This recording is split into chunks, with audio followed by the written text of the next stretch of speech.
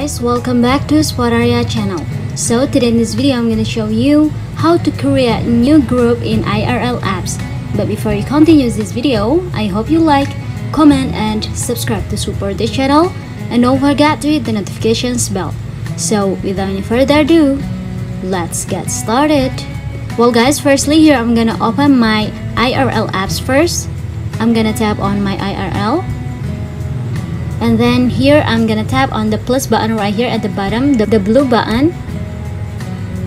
And then here you will see two options which is new group and new event. So I'm gonna tap on new group which is the first option.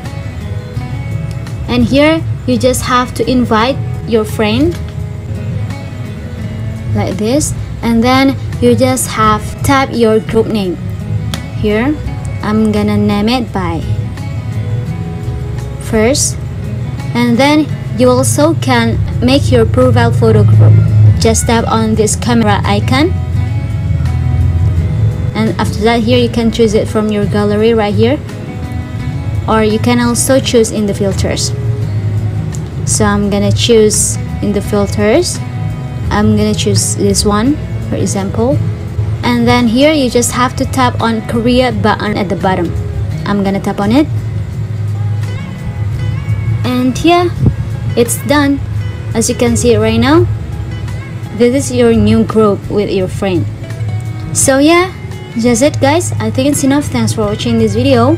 I hope this video will help you. Don't forget to leave your comment in the column below. I'll see you soon on the next one and good luck